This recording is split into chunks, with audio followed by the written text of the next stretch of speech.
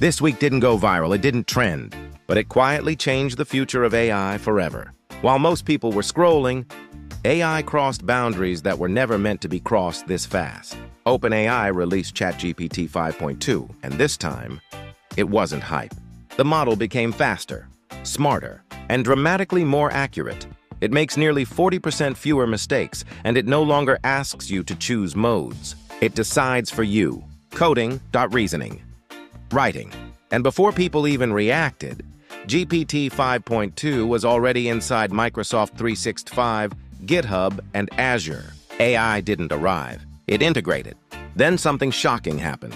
Photoshop entered ChatGPT. Adobe officially integrated Photoshop Express and Acrobat and made it free inside ChatGPT. No tools, no complex menus. Just type what you want. Turn this into a comic.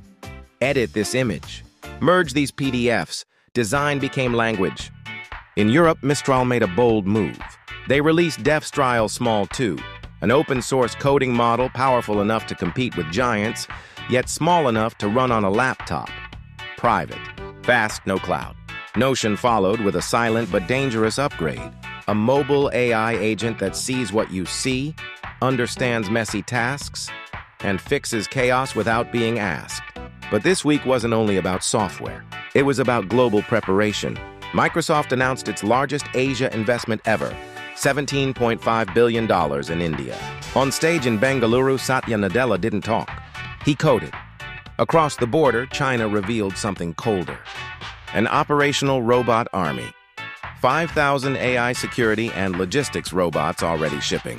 And to prove they were real, one robot performed kung fu on camera. No demo, no promise. Deployment.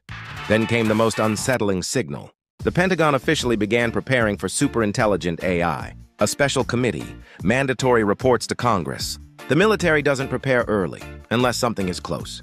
And finally, above Earth itself, history was made. The world's first space-based AI model was trained in orbit, powered by unlimited solar energy. Space is no longer just exploration. It's becoming a data center. Ending punch, viral close. None of this is coming soon.